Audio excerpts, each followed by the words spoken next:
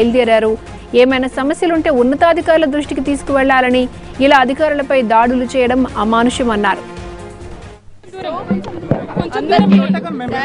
న్యాయం జరిగేటట్టు చాలా వరకు తన ప్రజలకు అందుబాటులో ఉండే అధికారిత ఏదైనా అధికారులతో ఇబ్బంది ఉండి ఉంటే రెవెన్యూ డిపార్ట్మెంట్లో స్టెప్ బై స్టెప్ న్యాయం జరగడానికి అవకాశం ఉంటుంది. ఇక్కడ కాని పక్షంలో ఆర్డీఓ ఆర్టీఓ జేసీ జేసీ కాని కలెక్టర్ ఈ విధంగా ఉంటుంది. కానీ ఇంత దుర్మార్గంగా ఇంత కిరాతకంగా జరిగిన ఈ సంఘటనను ఖండిస్తున్నాం ఖచ్చితంగా దాని వెనకాల ఏం జరిగిందనేది అధికారులు ఎంక్వైరీ చేస్తా ఉన్నారు. వాట్ ఈజ్ వాట్ అనేది ఎందుకంటే అతను కూడా ఎవరైతే ఈ దాడికి పాల్పడ్డాడో అతను కూడా హాస్పిటల్లో ఉన్నాడు. కానీ ఇది చాలా మనసు కలిచివేస్తూ ఉంది. ఎందుకంటే అధికారులు కూడా ప్రజల కోసమే పనిచేస్తూ ఉంటారు. ఏదైనా చిన్న సమస్య ఏదైనా ఉంటే పై లెవెల్ ఆఫీసర్కి చెప్పాలి కానీ ఇంత ప్రాణాలు తీసి ఇంత దుర్మార్గంగా కఠినంగా చేయడం అనేది చాలా బాధాకరం. దీన్ని ఖండిస్తూ ఉన్నాం. దానికి బాధ్యులైన వాళ్ళని కఠినంగా శిక్షించడం జరుగుతుంది. దాని వెనకాల ఏముందనేది ఎంక్వైరీ చేస్తారు. కలెక్టర్ గారు సిపి గారు అందరు అధికారులు ఉన్నారు. డెఫినెట్గా ఎంక్వైరీ చేసి సంబంధించిన వాళ్ళ మీద యాక్షన్ తీసుకోవడం జరుగుతుంది. మేడం ఇప్పుడు దీంట్లో నూట ముప్పై ఎకరాలకు సంబంధించి కేవలం ఎవరైతే దాడికి పాల్పడ్డటువంటి వ్యక్తి ఐదు ఎకరాలు మాత్రమే పోలీసులు చెప్తున్నారు అంటే మిగిలినటువంటి ల్యాండ్కి సంబంధించిన వారి హస్తము వారి ప్రమేయంతోనే ఈ ఘటన నేను ఏమంటున్నానంటే దాని వెనకాల ఏముందనేది వాళ్ళు ఎంక్వైరీ చేయాల్సిన అవసరం ఉంది. ఒక క్షణంలో ఇమీడియట్గా చెప్పాల్సిన సంఘటన అయితే కాదు. డెఫినెట్గా మీరు అన్నట్టు దాని వెనకాల ఎవరున్నారు ఏమున్నారు ఎవరు ప్రోద్బలం ఉంది ఎందుకు చేశాడు అనేది ఖచ్చితంగా ఎంక్వైరీలో తేలుతుంది. దానికి సంబంధించిన ఎవరున్నా కూడా శిక్షించడం జరుగుతుంది ఇక్కడ నుంచి ప్రభుత్వ కార్యాలయంలో ఖచ్చితంగా భద్రత ఏర్పాటు చేశారు అని చెప్పొచ్చా మేడం అంటే ఒక గెస్టెడ్ ర్యాంక్ అధికారి కార్యాలయంలో ఉన్న సమయంలో మధ్య మధ్య దీనికి దానికి నిమిషం. దీనికి దానికి లింక్ కాదు. మహిళలకు రక్షణ లేదనేది అట్లా మాట్లాడడం కరెక్ట్ కాదు. ఈ సంఘటనకు దానికి లింక్ చేయొద్దండి. ఇది ఇది ఎవరైనా ఖండించాల్సిన సంఘటన? ఏ అధికారి అయినా మహిళా అధికార పురుషులు అనేది కాదు ఇక్కడ. జెంట్స్ అనేది కాదు అధికారుల మీద ఇది ఏదైనా ఎవరైనా ఖండించాల్సిందే. దానికి సంబంధించి కఠినంగా యాక్షన్ ప్రభుత్వ తీసుకుంటాం కార్యాలయంలో భద్రత మీరు కనిపిస్తుంది. అందరికీ న్యాయం న్యాయం జరిగేటట్టు చాలా వరకు తన ప్రజలకు అందుబాటులో ఉండే అధికారి తన. ఏదైనా అధికారులతో ఇబ్బంది ఉండి ఉంటే రెవెన్యూ డిపార్ట్మెంట్లో స్టెప్ బై స్టెప్ న్యాయం జరగడానికి అవకాశం ఉంటుంది. ఇక్కడ కాని పక్షంలో ఆర్డీఓ ఆర్టీఓ జేసీ జేసీ కాని కలెక్టర్ ఈ విధంగా ఉంటుంది. కానీ ఇంత దుర్మార్గంగా ఇంత కిరాతకంగా జరిగిన ఈ సంఘటనను ఖండిస్తున్నాం ఖచ్చితంగా దాని వెనకాల ఏం జరిగిందనేది అధికారులు ఎంక్వైరీ చేస్తా ఉన్నారు. వాట్ ఈజ్ వాట్ అనేది ఎందుకంటే అతను కూడా ఎవరైతే ఈ దాడికి పాల్పడ్డాడో అతను కూడా హాస్పిటల్లో ఉన్నాడు. కానీ ఇది చాలా మనసు కలిచివేస్తూ ఉంది.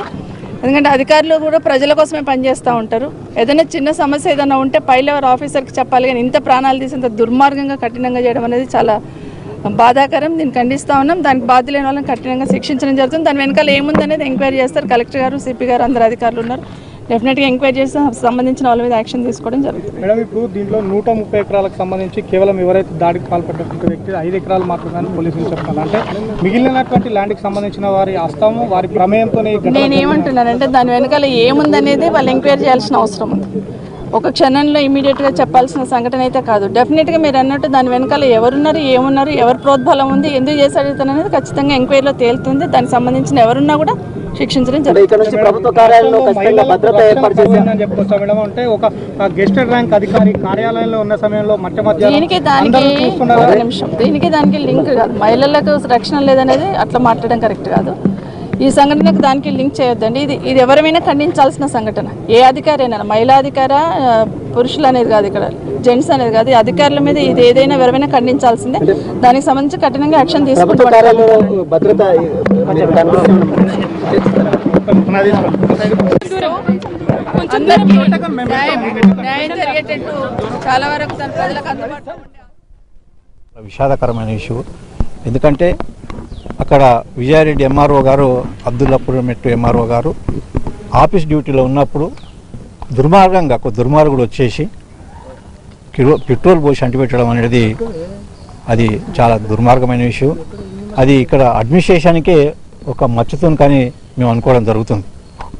తెలంగాణ ఉద్యోగులుగా తెలంగాణ సాధన తర్వాత ఉద్యోగులకు కూడా మంచి ప్రయారిటీ ఇచ్చి గౌరవం ఇవ్వాలని సమాజం అందరితో కలిసి పనిచేసిన ఈ తెలంగాణ ఉద్యోగులుగా.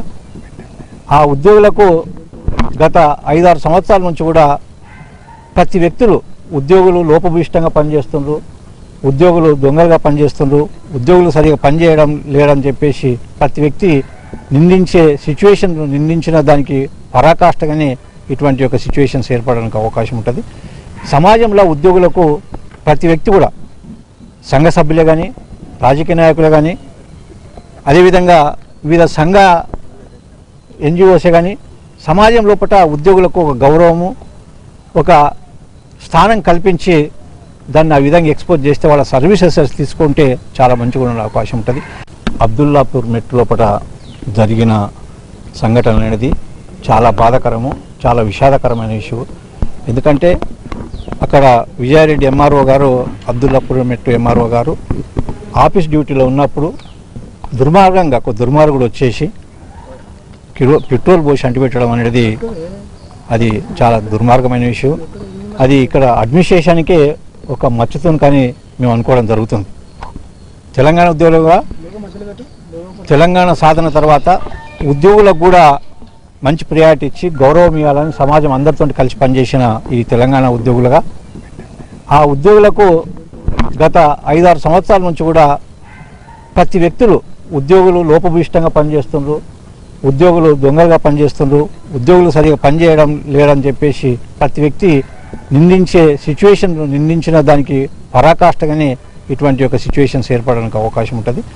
సమాజంలో ఉద్యోగులకు ప్రతి వ్యక్తి కూడా సంఘ సభ్యులే కానీ రాజకీయ నాయకులు కానీ అదేవిధంగా వివిధ సంఘ ఎన్జిఓసే కానీ సమాజం లోపల ఉద్యోగులకు ఒక గౌరవము ఒక స్థానం కల్పించి దాన్ని ఆ విధంగా ఎక్స్పోజ్ చేస్తే వాళ్ళ సర్వీసెస్ తీసుకుంటే చాలా మంచిగా ఉండే అవకాశం ఉంటుంది.